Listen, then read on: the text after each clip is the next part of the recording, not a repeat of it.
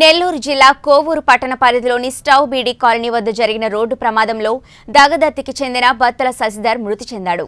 నెల్లూరు జిల్లా ఆత్మకూరు మండలం అశ్వినిపురం ఎస్టీ కాలనీలో విద్యుత్ షార్ట్ సర్క్యూట్ వల్ల ఇల్లు దగ్ధమైన ఇద్దరు గిరిజనులకు ఐక్యా ఫౌండేషన్ చైర్మన్ పయ్యావుల రామకృష్ణ చౌదరి ఆధ్వర్యంలో నిత్యావసర సరుకులు కట్ట బియ్యం అందజేశారు.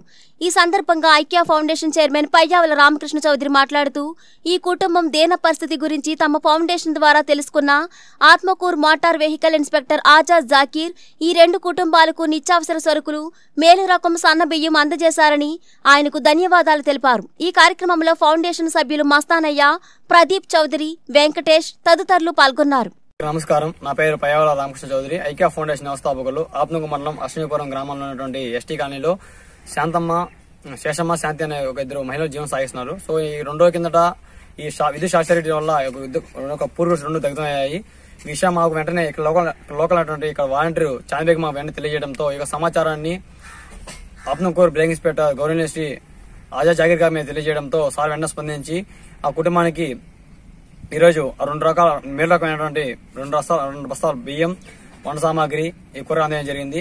ముందుగా ఈ కుటుంబానికి అండగా నిలిచినటువంటి జాగ్రత్త సార్కి మేము ధన్యవాదాలు తెలియజేస్తున్నాము. ఈ కుటుంబానికి భవిష్యత్తులో కూడా మేము అండగా ఉండి సహసాగా అందిస్తాము.